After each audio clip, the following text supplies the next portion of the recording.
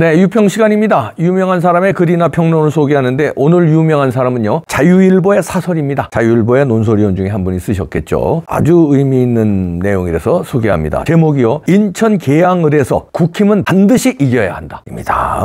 일단 그대로 읽어드립니다. 인천 계양을은 이번 4.10 총선 최대 격전지다. 이번 선거에서 원희룡은 국민의힘 전체 후보를 대표하는 위상을 갖고 있다. 상대인 이재명은 더 말할 것도 없다. 삼국지 연희 등에서 자주 묘사되는 양 진영의 대표 장수끼리 1대1로 맞붙는 승부를 연상시킨다. 이런 대결에서 승부의 균형이 팽팽할수록 관심도 커진다. 개항을의 경우 애초에 이재명이 우세하다는 전망이 많았다. 하지만 최근 발표되는 각종 여론조사를 보면 원희룡의 기억이 매섭다. 번지의 빅데이터 팀이 3월 2일부터 8일까지 네이버 뉴스 댓글을 전수조사한 결과 공감도에서 원희룡이 이재명을 11,556대 1,770으로 압도하고 있다. 여론조사 전문업체 갤럽이 지난 7일 개항을 선거구 거주 만 18세 이상 남녀 504명을 대상으로 한 여론조사에서는 내일이 선거일이라면 누구에게 투표하겠느냐는 질문에 45%가 이재명, 41%가 원희룡을 꼽았다. 원희룡이 이재명을 턱밑까지 추격한 것이다. 선거에서 수치보다 중요한 것이 죄라고 봤을 때 원희룡의 역전 가능성이 높다고 봐야 한다. 계량을은 계양을은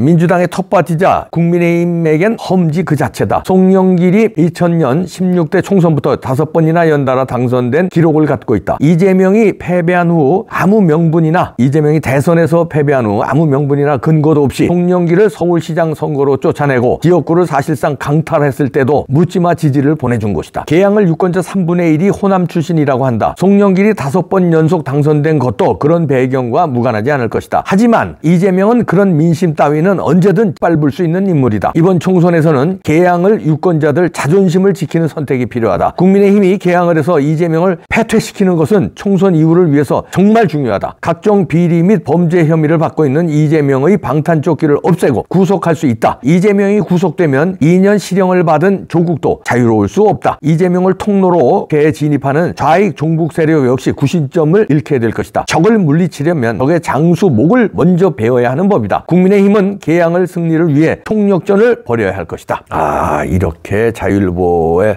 사설인데요. 음, 인천 개항을 해서 어, 국민의힘 반드시 이겨야 돼. 총력전을 펼쳐야 되는데 지금 분위기가 이길 것 같아요. 추세라는 게 무서운데 우선 원희룡은 선거에서 진 적이 한 번도 없습니다. 전승이에요. 그러면 그만큼 이제 선거를 치르는 그 뭐라 그럴까 전략이라고 그럴까 자세라고 그럴까 승률이 100%라는 거는 그만한 뭐가 있다는 거죠. 뭐 대선 같은 데 나가서는 안 되는데 하여튼 지역 선거고 지사 선거고 하여튼 나갔다 하면 백전백승이거든요. 이번에도 인천 계양을이 만만치 않은 데고 뭐 적지지만 있지만 그래도 저는 분위기가 다르다고 보는데 우선 여기서 전라도 표심을 안정권이가 조금 흔들었어요. 안정권이가 전라도 출신이잖아요. 전라도 출신이면서 전라도가 깨어나야 한다면서 전라도 그 사투리로 욕을 아주 맛깔스럽게 해대면서 전라도 민심을 조금 흔들었습니다. 거기다가 유동규가 자유통일당 후보로 나서면서 이재명의 비리를 막 지역에서 인천 계양을 해서 까고 앉았습니다. 그게 무시 못하죠. 그래서 방송으로 유튜브에서 다루는 게 이게 조회수가 만만치 않아요. 최근에는 노래로서 그리운 금강산을 영상을 광화문에서 열창하고 이봉규 TV에서만 했는데도 41만 명이 봤어요. 광화문에서는 수십만 명이 봤고요. 그만큼 유동규가 뜨겁습니다. 물론 유동규가 원희룡이나 이재명 누르고 당선되기는 어렵죠. 근데 유동규는 이재명이 당선되지는 않게 하겠다는 거예요. 그러니까 나중에는 자기가 1등을 안 하면 원희룡 손을 들어준다는데 그게 일주일 전이 됐든 열흘 전이 됐든 손을 들어준다는 겁니다. 그렇게 할 거고요. 그 분위기가 지금 그 개항을 주민들도 알아요. 그 거기도 이제 우파들이 있잖아요. 우파들이 어, 유동 유동규 처음에는 유동규 나올 때 좀 걱정했어요. 아이고 나와가지고 표치져지는 거 아니까 지금은 걱정 하나도 안 한답니다. 잘했어.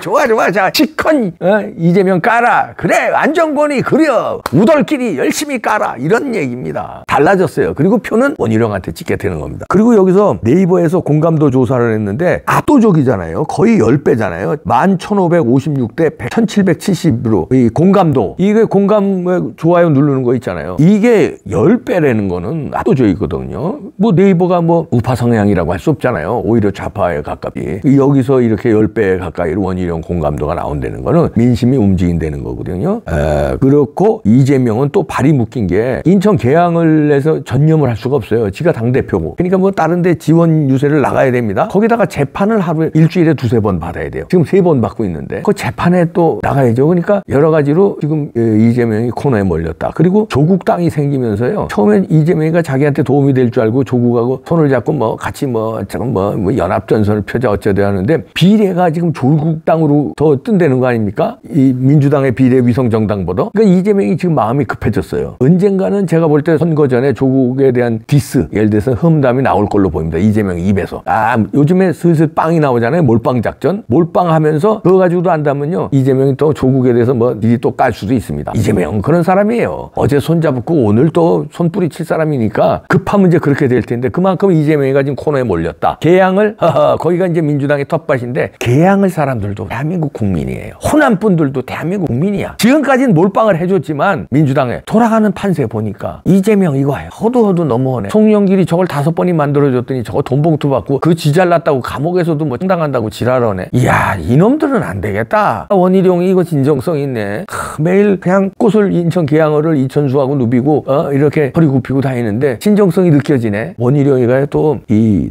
무지하게 노력합니다. 이 천재도 있지만 머리가 좋은 것도 있지만 그만큼 노력을 했기 때문에 사법고시 1등에 무슨 전국 수석 뭐 맡아하고 그랬잖아요. 그게 머리만 가지고 되는 줄 아세요? 노력이 집중력이 대단한 사람이에요. 그러면 이 선거에 모든 걸 걸었거든요. 원희룡은. 그러면 여기서 그 집중력과 그 머리로 전략으로 아 이재명 잘못 걸렸지. 제가 볼 때 이길 수 있을 것 같은데 그렇다면 여기서 국힘당은 총력전을 펼쳐야 돼. 인천 기양을 해서. 그 삼국지에서 보면 이쪽에 수만 병사가 있고 저쪽에도 수만 병사가 있잖아요. 때로는 수십만이고. 그 벌판에서 맞짱 뜨잖아요. 그냥 와 하고 맞짱 뜨잖아요. 보니까 중세 때 그 유럽에서도 그렇고 대장끼리 한번 뭐 선수들 하나 내보내더래. 그러면 아, 말 타고 그냥 아, 창이나 말 타고 한 번 들러대더라고요. 거기서 상대 장수를 쓰러뜨리면 그 기세가 확 살아나가지고 저쪽은 그냥 오합지졸이 되는데 여기서 이재명을 잡으면 원희룡이가 그러면 민주당은 완전히 이 선거 후에 흐물흐물 그 정계 개편으로 없어질 수 있습니다. 그렇게 만들고 이재명 감옥에 보내야 돼요. 여기서 원희룡이가 큰 일을 하는데 원희룡이는 이제 내세우는 거고 누가 큰 일을 하느냐? 이천수가 아니 이천수가 하는 거다 조금만 하지만 계양 주민이 호남 주민이 3분의 1 이상 된다는 거 아니에요 계양에 그분들이 이번에 사건을 벌입니다. 그리어 이 나쁜 놈. 이재명 우리가 뭐 바지 조각인 줄 알아 이놈아? 어, 너 한번 우리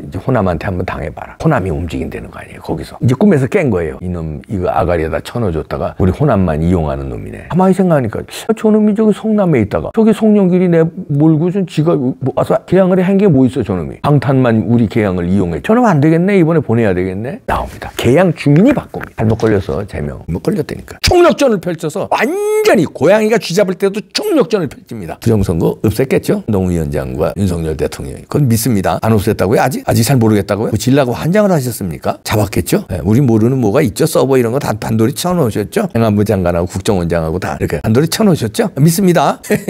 그거 안 하고 무슨 핵약이 무효인데? 했겠지 설마 에이, 했지. 했으리라고 믿습니다. 개양을은 두 보십시오. 뒤집어집니다. 은희룡 화이팅. 당신이 이뻐서 화이팅 하는 거 아니야. 이재명이 보내야 되니까 감옥 보내야 되니까 이겨라는 거야. 이거 힘쓰세요. 입니다 거기 저 홍길동도 원희룡이 친구고 그 우리 저 후배 또 김수혜라고 있어요. 김수혜가 또 원희룡이 막 도와주고 돌아다니는 모양인데 이천수도 도와주고. 야 기대됩니다. 원희룡이 그 인복은 있는 모양이야. 에?